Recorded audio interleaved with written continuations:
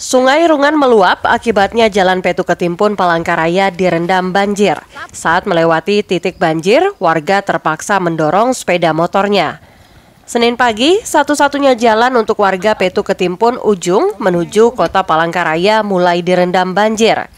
Ketinggian banjir yang mencapai 35 cm dan derasnya arus air memaksa warga yang melintasi titik banjir berhati-hati saat menuntun sepeda motornya. Ipul, salah satu warga Petu Ketimpun yang akan ke Palangkaraya mengatakan sudah dua hari rendaman banjir semakin tinggi.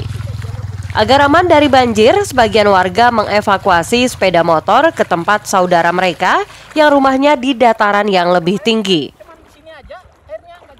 Kalau jalan aspal ini baru baru kemarin ya. Kemarin tuh cuman di situ aja kemarin.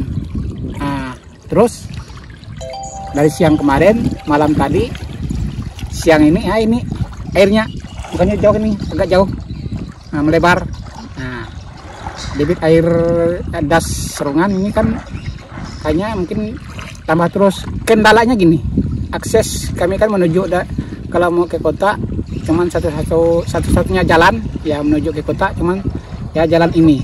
Kita kan mau mau ngunci nih eh, motor ke tempat orang tua yang agak rumahnya tinggi itu kan saudara. Nanti motor saya ini kan dibawa. Nah dibawa balik ke sana untuk nyimpan ke sana.